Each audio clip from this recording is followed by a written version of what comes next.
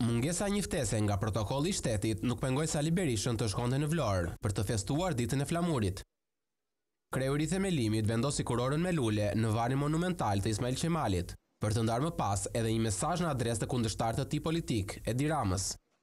Erdha këtu gjithashtu për t'u betuar para varrit të Ismail Qemalit, Ismail Bej Vlorës, se Pashiqi shqiptar që sapo ka vendosur kurorën aty e ka të fundit, sepse shqiptarët në Shqipëri, Kosovë dhe kudo që ndodhen, do ta paketojnë atë Në Beograd, aty ku e ka vendin.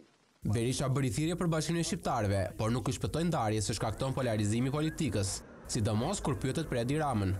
Si mund të bëhem bashkë me atë i cili ndjek po atë linjë të viteve fillimit të shekullit të ndarjes dhe përçarjes shqiptarëve nuk ka bashkim me te ka betejë ka betejë pa kthim gjer në largimin e tij për në Beograd.